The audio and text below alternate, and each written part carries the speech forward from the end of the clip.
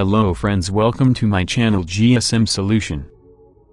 If you want to learn more and new things about mobile software please like share and subscribe my channel. Today I am share iCloud Bypass Tool v3 Untethered Disable to Update Erase all data and setting Rebot Apple logo fix. Open browser and go to my blog gsmsolution.com.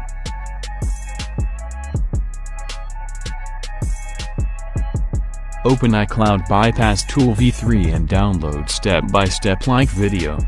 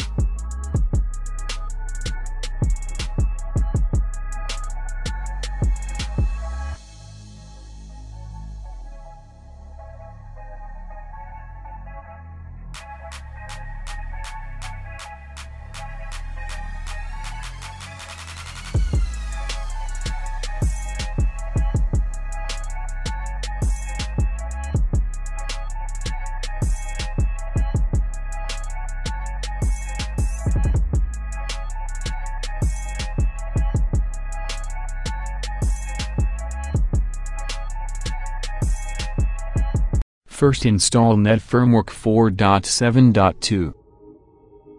Second open a cloud bypass tool. If your tool required server key I give on blog and txt file just copy and paste.